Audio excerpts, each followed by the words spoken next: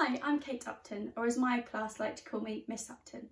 I'm a year one teacher and I have decided to upload a video of myself reading picture books every school day during these times.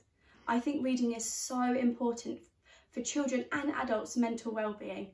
I'm a trained mindfulness teacher as well, so I will be incorporating mindful techniques and activities at the beginning of the session, then I'll read the story, and then I will do an activity that the child can do that relates to the story as well.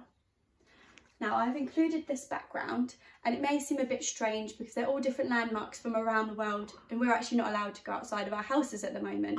But actually reading is an escape into different worlds. So we can imagine these different worlds. So I think it's a perfect background to have. So please make sure you're watching my channel. Thank you.